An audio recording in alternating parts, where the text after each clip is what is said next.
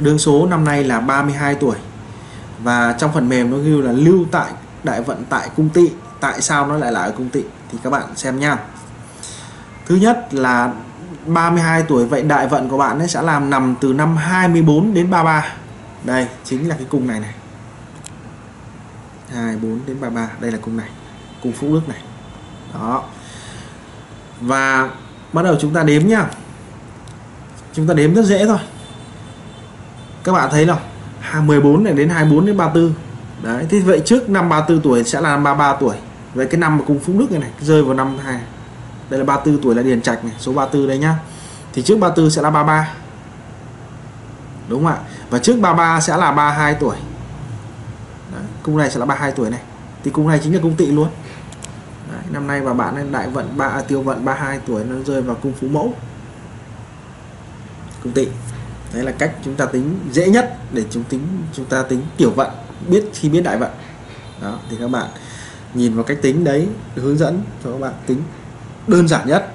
Và sau này càng các bài tiếp theo nữa tôi lại hướng dẫn thêm cho các bạn cái cách để mà tính tiểu vận một cách chính xác. Có nhiều cách để ăn sao trong tử vi. À, có nhiều môn tử vi trong mặc dù là tử vi nhưng có nhiều cách ăn sao khác nhau. Và khi mà ăn sao khác nhau thì các đại vận và tiểu vận có thể sẽ khác nhau. Đấy.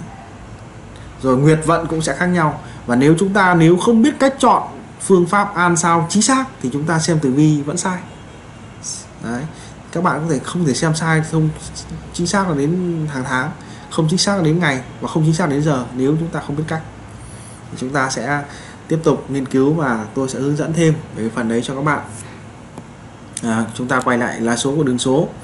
Thì cung mệnh của đường số có sao thất sát hãm địa.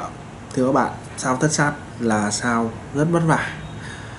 À, nữ mà mệnh thất sát lại đóng cung dương âm dương nghịch lý như thế này thì đây là một người phụ nữ tương đối vất vả. Và tôi xin uh, chia sẻ với cô gái này uh, về mặt vất vả của cô. Bởi vì mệnh đã là thất sát lại thêm địa không tại mệnh. Đó. Sao địa không? Mệnh địa không thân địa kiếp. Đó đây thì các bạn theo thì là số vất vả. Và hôm nay Tử vi Việt Nam sẽ hướng dẫn cô gái này một cách chi tiết để làm cho cô bớt vất vả đi. Vì nhìn đa số thì thấy là cô đang gặp rất nhiều vấn đề. Đấy, rất nhiều vấn đề. Vì năm ngoái của cô vừa trải qua cái sao thất sát địa không kìa. Đó. Rất nhiều cái tai họa nó diễn ra với cô ấy. Nhiều việc không bằng lòng diễn ra với cô ấy. Và năm nay rất may cho cô năm nay có sao thiên cơ vượng địa rồi gặp thanh long rồi là gặp tứ linh chiếu. Đó. Mặc dù lại như lại có thiết khốc thiên khốc và nước mắt.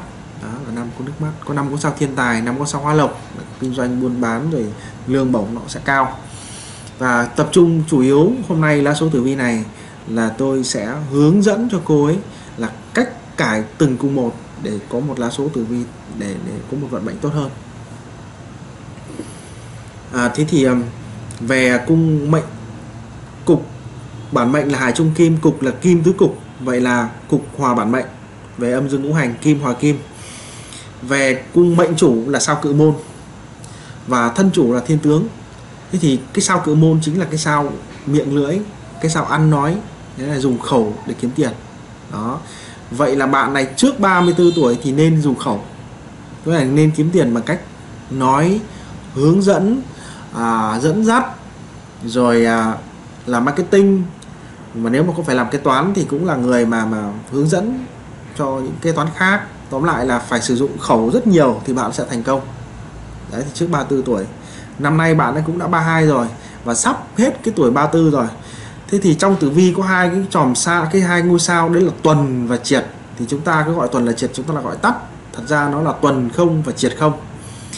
À, có các bạn à, nhiều bạn đang hỏi với thầy tử vi Việt Nam là xin thầy nói rõ cái sự ảnh hưởng của sao tuần và sao triệt. Càng đi nghi sâu càng nghiên cứu về tử vi thì càng thấy cái sự à, biến hóa khôn lường của sao tuần triển và chúng ta theo lý thuyết thông thường mà chúng ta đọc ấy thì nó chỉ như thế này thôi. Là sau tuần ấy là nó sẽ vây hãm như cả đời. Vây hãm cả đời. Cung nào bị sau tuần đóng thì nó sẽ vây hãm cung đấy cả đời và nhớ thưa các bạn là sau tuần và sau triệt khi nó đã đóng thì nó sẽ ảnh hưởng tới hai cung gần nhau. Ở đây ví dụ như là sau tuần này này. Đó cái sau tuần màu đỏ này đó nó, nó đóng vào cung tân ách và cái cung thiên di thì nó sẽ vây hãm hai cái cung này. Đấy. và tuần đóng chưa chắc đã xấu. Các bạn nhé tuần đóng chưa chắc đã xấu bị tuần vây chưa chắc đã xấu. Đấy. Cứ mọi người cứ tưởng bị tuần à, hãm vây hãm là xấu không phải đâu ạ ví dụ như là những cái cái cái cung mà rơi vào cung thiên la địa võng này này mà gặp sau tuần đóng thì nó lại còn mở cửa cho có cửa để thoát ra khỏi thiên la địa võng. Hoặc sau tuần đóng vào các sao hãm nó bị hãm địa rồi lại gặp sau tuần đóng vào thì nó lại tốt. Đấy ví dụ như cô này sau tuần đóng cung tận ách lại tốt bởi vì tuần đóng cung tận ách nó sẽ vây hãm cho các bệnh không phát tác được. À, nó làm cho không có bị bệnh nặng được không bị trọng bệnh. Thì sau tuần đóng một cung tận ách ở đây lại tốt. Đó. sau tuần đóng một cung thiên di của cô này ở vị trí này có liêm trinh thiên phủ. Đấy. cái sao liêm trinh thiên phủ là cái sao dầu có đấy nhá là cái tròn rất là đẹp. Nhưng vì nó gặp sau tuần đóng ở đây nhưng lại vì có thiên la địa võng đóng vào nữa nên là nó cũng chính là nó cũng mở thiên la địa võng ra sau tuần ở đây. Mặc dù cái cung thiên di của cô nghĩa là về mặt xã hội của cô ấy nó không rực sáng hẳn nhưng nó cũng sẽ làm cho cô không xấu. Không không có nghĩa là không tắt hẳn. Đấy, người mà thiên di mà hãm tức là, là là không đi ra ngoài được rồi xã hội không công nhận rồi mọi người đánh giá tầm thường nhưng cô lại không? Tuần đóng cung thiên di nhưng may của cho cô ấy là rơi vào cung thiên la địa võng. Thì nó cũng là một người mà cô là một người mà sinh ra được xã hội công nhận được nhiều người nể phục. Đấy, đánh giá cao. À, vậy chúng ta nhớ là sao tuần nó vây hãm và thường là sao tuần nó sẽ mở cái vây hãm ra ở cuối đời. Đấy. ví dụ như là tuần ở nửa đời đầu là nó quay rất là chặt. Các bạn cứ nghĩ rằng là chú bạn bị vây rất chặt ở sau tuần đấy. Nhưng sau hậu vận có nghĩa là từ 34 tuổi trở ra hoặc là năm tư bốn tư tuổi trở ra thì cái, cái sau tuần nó sẽ nó mở bớt ra nó mở bớt ra. Thì cái sau tuần này nó giống như cái mà quy luật nhân quả ấy là do kiếp trước của chúng ta ấy, không tốt nhiều kiếp có vấn đề mà chúng ta chưa được tốt nghiệp của chúng ta chưa trả hết nên cái sau tuần nó đứng vào đấy thì nó be cái cung đấy nó làm cho chúng ta không thoát ra được giống như bị tù ấy. đó. Và càng cuối đời thì chúng ta càng giả bớt nghiệp đi rồi. Đấy, nghiệp của chúng ta sẽ được giả bớt thì cái sau tuần nó sẽ mở ra và có cơ hội để chúng ta phát triển. Ví dụ cô gái này là sau 34 tuổi là có cái cơ hội cái sau tuần nó sẽ mở dần mở dần mở dần để cái cung thiên di của cô ấy sáng như là được xã hội công nhận tốt và thiên phủ là kho tiền lúc đấy nó mới mở ra đối với cô ấy. Rồi sao liêm trinh là cái sao mà công việc triển chu nó cũng mở ra cho cô ấy để cho cô có cơ hội để cô thoát. À, nói về sao triệt. Sao triệt cũng thế. Triệt là chúng ta gọi tắt. Triệt không như chúng ta gọi tắt là sao triệt. Nó đóng ở đây là nó đóng vào hai cung điền trạch và phúc đức. Các bạn nhớ là dũng giống như tuần là triệt đóng vào hai cung. Nhưng sao triệt nó lại khác ở sau tuần như thế này? Triệt các bạn nghe chữ triệt không? Triệt là triệt hạ ấy. Đấy, triệt là chết, có nghĩa là nó xóa. Như nó đóng ở cung phúc đức và cung đền trạch này, sau triệt đóng vào đấy thì cái sao tử vi ở cung phúc đức nó sẽ làm cho tê liệt cái sao tử vi đấy, gần như bằng phẳng. Mất cái sự, cái cái cái tốt của sao tử vi đi, gần như mất hẳn luôn. Đấy, và sao triệt nó hay ở chỗ là nửa đời đầu nó đóng, nhưng nửa đời sau cũng nghĩa là từ 34 tuổi trở ra sao triệt nó sẽ tắt dần tắt dần. Đó. và càng về cuối đời, sao triệt nó lại càng không phát tác được nữa. Nó sao triệt cũng chính là một cái sao nghiệp của chúng ta. Nó đóng một cung nào, nghĩa là cái cung đấy trước đấy chúng ta bị nghiệp và chúng ta không sử dụng được cái lợi thế của các sao đấy trước những năm 34 đấy, đối với cô này 34 đấy, có những người 36 thì lại trước 36 có những người 35 lại trước 35 có những người 31 thôi trước 32 thì trước 32 thế thì, tóm lại là khoảng trước 36 tuổi Ờ, 34 36 tuổi là chúng ta không sử dụng nếu mà sao triệt nó đóng cung nào thì nó làm cho tê liệt cái cung đấy. Và các sao tốt sáng đóng ở cung đấy không giúp được cho chúng ta. Đấy thế thì với đường số này thì sau ba nó đóng một cung triệt mà đóng cung phúc đức thì có nghĩa là gì? Cô này không được sự hỗ trợ của họ hàng trước năm 34 tuổi. Đấy, không nhờ được gì cả. Rất ít là có chăng là rất ít thứ hai nữa là âm phần là người âm của cô ấy không giúp đỡ được cô trước năm 34 tuổi nghĩa là gia tiên không đỡ được cho cô ấy. Đấy, với lý do là có các nghiệp kiếp trước. Tiếp nữa là khi sao triệt mà đóng cung phúc đức nghĩa là không gặp may trước 34 đối với người khác người ta có thể gặp may nhưng cô này ít khi gặp may trước 34 tuổi vì triệt đóng cung phúc đức rồi. Nghĩa là không được âm độ nghĩa là mất thăng bằng âm dương trước 34 tuổi. Đấy. sao triệt nó làm như thế? Và sao triệt nó đóng vào cung điền trạch của cô này mặc dù vô chính diệu nhé vô chính diệu nhưng nó cũng sẽ làm cho cô sẽ không có duyên với đất cát và ô tô. Đấy cô điền trạch là nói về điền sản đất cát ô tô những thứ có tài sản lớn là cô này cũng chưa có duyên việc đấy. Và sau 34 tuổi mới có duyên đến việc đấy, đấy đường số nghe chưa? Bạn sẽ còn vất vả hết năm nay hết năm nữa. Và 34 tuổi trở ra bạn mới bắt đầu ổn định coi như là nửa đời đầu các bạn phải trả nợ nghiệp. À, cái lá số này thì từ cái tiểu vận là từ 4 tuổi trở ra cô gặp sao địa không? Nên là các bạn luận luôn là từ 4 tuổi đến 13 tuổi là chắc chắn là bạn này sẽ bị thai họa kiểu gì cũng dao kéo vào người. Bởi vì thất sát địa không đóng ở đấy. Sao thất sát chính là cái kiếm cái dao. Nó nằm tại cung mệnh có nghĩa là kiểu gì cũng bị dao đâm kiếm đâm mổ xẻ từ năm 14 tuổi đến năm 13 tuổi. Từ năm 14 tuổi trở ra cô rơi vào cái đại vận có thanh long kìa. Đấy, thiên tài hóa lộc. Thế thì các bạn biết là 14 đến 23 tuổi thì đa số chúng ta đang đi học học cấp 3 học đại học. Đấy, thì chúng ta học cấp 2 cấp 3 và đại học. Thì chúng ta biết rằng là những cái năm đấy là chủ yếu là chúng ta tu tập học hành chưa biết cách kiếm tiền. Đấy, chưa ra lăn lộn để kiếm tiền và chủ yếu là đi học. Thì cô này rất may cái sao thiên tài sao hóa lộc nó nằm ở cái cung phụ mẫu cô đại vận từ 14 trở ra ấy. Rồi ân quang văn khúc cũng là cái sao học. Nó chiếu từ cung tần ách sang cái cung uh, phụ mẫu của cô. Đấy rồi tà phù hữu bật nằm cung tử tức cũng chiếu vào cung phụ mẫu của cô. Đó thì nó làm cho cái việc học tập của cô ấy tương đối thuận lợi. Đấy, tương đối thuận lợi. Và những trong cái quãng đời của cô là rất yên. Nhưng thiên khốc mà lại đóng ở khung đấy. Thiên khốc chính là nước mắt và quan phù. Nên là chắc chắn gia đạo bố mẹ chắc chắn là có sự xung khắc hoặc là có vấn đề gì đấy mà liên quan đến nước mắt. Đấy. À, khổ tâm từ năm 14 đến năm 23 tuổi. Và cái đại vận từ năm 24 tuổi đến năm 33 tuổi cô rơi vào cung phúc đức. Đó cô lại bị triệt cung thân. Các bạn nhớ nhé những người phụ nữ mà triệt cung thân thường là những người mà đã à, yêu một mối tình cực kỳ say đắm và đã tưởng chừng như đã cưới xong rồi. Nghĩa là đã ừ, hết mọi thứ rồi thì lại đi lấy một người khác.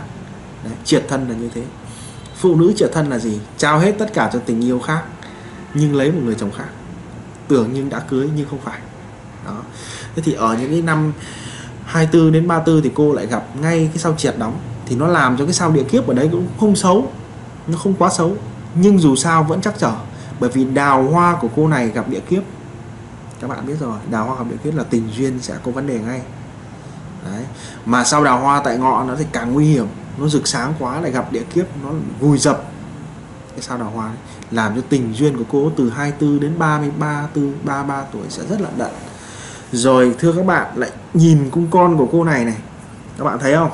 Tả phù hữu bật chiếu cung con, phục binh chiếu cung con. Đây là những cái ngôi sao sao tả phù hữu bật mà đóng ngay cung con. Rồi lại cái sao thiên đồng cự môn hãm địa, nó lại nằm ngay cung con nữa, khiến cung con của cô này nó xấu. Nó xấu ở đây không nghĩa là con cô ấy xấu, mà là gì? Nó thể hiện có hai dòng con trong lá số tử vi. Đó tả phù hữu bật lại phục binh nữa. Sao phục binh cũng nói là sao có con dị bào. Vậy thì sao? Cô này sẽ có con dị bào. Hoặc là cô nó sẽ lấy một người đã chồng đã có con hoặc chồng cô ấy sau này có con với người khác hoặc là cô ấy sau này lại có con với người khác nữa. Vậy là gì? Trong cung con của cô này có con chị bào đấy. Vừa thấy tình duyên trên kia lận đận này lại thấy có con chị bào thế là đây chúng ta phán đoán là một là người mà có à, con cái à, cái đường à, tình duyên chắc chắn là chắc trở. Rồi chúng ta lại liếc một cái đến cung phu thê. Sao hồng loan đấy, hồng loan đóng cung phu thê. Cô thần. Hồng loan là cái sao mà sẽ không trúng thủy. Đóng vào cung phu thê thì dễ là không chung thủy với nhau. Sao đào hoa thì cực kỳ kinh rồi, nhưng hồng loan có nghĩa là gì? Người ta hướng đến một người khác, nghĩa là không còn tình yêu với mình và sẽ yêu một người nào khác mới không yêu mình nữa. Nghĩa là lấy một người chồng sẽ không còn yêu mình. Rồi sau cái sao cô thần là một cái sao nằm trong cung phu thê, nó cũng khiến cho tình duyên, vợ chồng lận đận cô quả đóng cung chồng khiến cho rất là vất vả đường chồng. Rồi sao quan phủ cũng là cái sao phản bội đóng ngay cung chồng nữa nó cũng làm cho trục trặc hơn. Rồi sao thiên không đóng ngay cung chồng là cắt đôi thiên không là cắt đôi cắt ngang cũng là cùng cái sao xấu.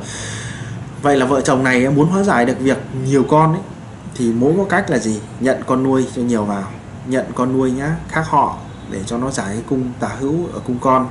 Rồi cung chồng có sao quan phủ thiên không kia thì nên xa nhau một thời gian đấy, sau đấy quay lại với nhau thì sẽ phù hợp. À, chúng ta luận tiếp một cái cung là cung tài bạch. Thì tài bạch của cô này á, là có sao thất sát à thao tham lang hãm địa. Đó. thế thì cô này sẽ là người kiếm tiền không được nhiều lắm là kiếm tiền bình bình thôi không lớn. Rồi lại gặp đại hào đóng ở đấy nữa. Đó thì là, là kiếm tiền chỉ đủ chi tiêu thôi. Thậm chí đang bộ chi trước 34 tuổi là bộ chi kiếm không đủ tiêu tiền. Đó thì sau 34 tuổi thì cô mới có hy vọng mà kiếm được nhiều tiền để dư dật ra được. Vất vả. Đấy thế định lại sao thiên cung thiên di là cô này có quả tú chiếu nữa đây này. Đấy thế thì dễ là cái cuộc sống của cô này là dễ là một mình đơn độc. Sau này chia tay chồng mà sống một cách đơn độc. Dễ như thế lắm. Đó, cung nô bộc của cô này vô chính diệu lại gặp và thái dương thiên lương chiếu lên lại tương đối tốt. Đấy nên cô này có số số nhờ huynh đệ nhờ nô bộc nhờ bạn bè đấy. Bạn bè chơi rất đông vui đây này. Lại có số nhờ nô bộc nên cũng được nhiều người giúp đỡ. Cung quan lộc của sao phá quân. Sao phá quân là cái sao mạnh mẽ cái sao nó dành cho nam nhi là cái sao mà nói lên cái trò mệnh pháp pha lang thì hay người ta hay nói đến binh nghiệp có nghĩa là sự nặng nhọc vất vả à, đánh đấm đấy, chiến đấu. Thì cái cung quan lộc của cô này có sao phá quân. Thế sao phá quân là cái sao mà cô chỉ làm việc nặng thì tốt. Nếu làm việc nhẹ thì không được. Nghĩa là những cái công việc mà nặng nhọc vất vả à, thì sẽ phù hợp với cô. Đấy, và làm cái gì cũng thế nhớ là chọn việc nặng thì mới tốt. Đấy, có bài hát là ai cũng chọn việc nhẹ nhàng gian khổ sẽ dành phần ai thì bạn này bạn ấy muốn thành công thì bạn chọn cái việc gian khổ thì bạn sẽ thành và bạn ấy chọn cái việc nhẹ nhàng là không thành công. Về sao phá quân nói lên cái sự vất vả? Nên chọn việc vất vả thì sẽ thành. Và đương số nhá có mấy vấn đề. Thứ nhất là cố gắng qua năm nay đi. Sang năm cũng là một năm cũng tương đối uh, năm nay là lo cho bố mẹ này. Đấy năm nay là sức khỏe của bố mẹ rất kém lo cho phụ mẫu lo cho con cái rồi sang năm rồi lo cho họ hàng rồi lo cho bản thân mình. Và nhớ là sang năm cũng một cái hạn là đào hoa gặp địa kiếp. Đấy là cái chuỗi cuối cùng của 24 đến 33 tuổi là nó dễ à, trục chặt đường tình duyên lại có sao thiên hình như là dễ ra tòa lắm. Không biết bạn còn sống với chồng không nhưng mà sang năm là dễ là dọa nhau để đưa ra tòa. À, hết sức cố gắng bạn hết sức cố gắng thì bạn mới sống được với một người chồng của bạn. Đấy, hết sức cố gắng cố gắng cải mệnh thì bạn mới ở được với chồng, còn không là rất khó. Thôi, để cho nó qua năm 30 vất vả hai năm nữa, từ 34 trở ra thì cũng tương đối thành công. Nhìn vào cái cung xung chiếu từ tức, thiên đồng cự môn hãm chiếu vào kia vào cung điền trạch thì thấy xấu, nhưng mà bạn yên tâm là có thái âm, miếu địa, rồi thái dương vượng địa, thiên lương, nó sẽ chiếu vào cái đại vận ba tư của bạn trở ra. Tiếp nữa là sao triệt, nó mất đi rồi, thì cái cung thân của bạn lúc đấy nó mới sáng. Cái hành động của bạn, cái công việc của bạn lúc đấy nó mới thành công đấy. Và từ 34 tuổi trở ra sẽ nhiều việc nhiều sự kiện nó sẽ khiến cho bạn thành công ổn định hơn trong công việc. À, một điều nữa là nếu có điều kiện thì sẽ hướng dẫn cho bạn như sau. Bạn nên à, di cái sao địa không tại cung mệnh ra khỏi mệnh của mình. Vì cái sao đấy nó làm cho mình thăng trầm lên trầm xuống bầu. Sao lực sĩ kình dương tại mệnh là cái sao mà làm nhiều nhưng được công nhận ít nữa cái sao thế, là sao vất vả? Cũng nên di ra khỏi cung mệnh của mình. Rồi cái sao địa kiếp tại cung thân phúc đức kìa cũng nên di ra khỏi cung mệnh của mình. Đó, thì bạn sẽ thành công hơn. Tiếp nữa là nói về mặt là nhân quả thì bạn đang còn rất nhiều nghiệp từ nhiều kiếp trước. Và nếu có điều kiện bạn nên qua tử vi Việt Nam để thầy hướng dẫn cho bạn để bạn giải nghiệp cho tốt hơn. Đấy, năng làm các việc công đức này đức năng thắng số. Rồi à, có thể sau ngày hôm nay bạn có thể chia sẻ cái video này cho mọi người để mọi người biết được rằng là à lá số tử vi nó như thế này thế kia thì cũng đấy là một phần để bạn tăng cái công đức của bạn cho các bạn tốt hơn hoặc là uh, tham gia vào làm những cái việc công đức như là xây đền xây chùa rồi uh, thăm các bệnh viện rồi uh, quyên góp cho đồng bào bão lụt đấy có rất nhiều các việc để bạn làm công đức để bạn giải bớt kinh nghiệp của bạn cho nó tốt hơn. À, sau bạn mà cố gắng làm được việc đấy thì từ cái đại vận từ năm 34 tuổi trở ra thì bạn sẽ rất bạn sẽ thành công hơn nhiều so với việc này. À, so với thời điểm bây giờ. Rồi đại hao nằm cung tài bạch của bạn nó cũng sẽ có cách nó không làm cho tiêu hết tiền đi nữa mà nó sẽ giữ lại được một phần nào cho bạn. À, đây là những cái lời mà tử vi Việt Nam uh, hướng dẫn cho mã số 1027 có hướng cải mệnh cho tốt hơn. Và nhớ rằng à, một câu là đức năng thắng số bạn nên làm nhiều việc đức có đức tốt thì bạn sẽ cải được cái vận mệnh của bạn. Và sau này bạn rất phù hợp với công việc chỉ huy lãnh đạo bởi vì thân có cư sao thiên tướng. Sao đấy là cái sao bạn sẽ lên làm lãnh đạo hoặc là chỉ huy. Và bạn hợp với nơi xa trường hơn là bạn là tướng nơi xa trường. Đấy, chứ không phải là quan quan trong triều bạn nên làm ở nơi xa thì bạn sẽ thành công hơn. Và nên làm một người chỉ huy thiện chiến. Đấy, vì sát pha lang là cái bộ chỉ huy mà thì bạn sẽ thành công. Và càng chọn những việc nặng nhọc khó khăn thì bạn lại càng thành công hơn nữa. Xin à, chúc bạn mã số 1027 cải thiện vận mệnh của mình. Và Tử Vi Việt Nam xin chào các bạn. Rất mong các bạn đăng ký vào kênh Tử Vi Việt Nam này để chúng ta chia sẻ với nhau và ủng hộ Tử Vi Việt Nam xin chào các bạn.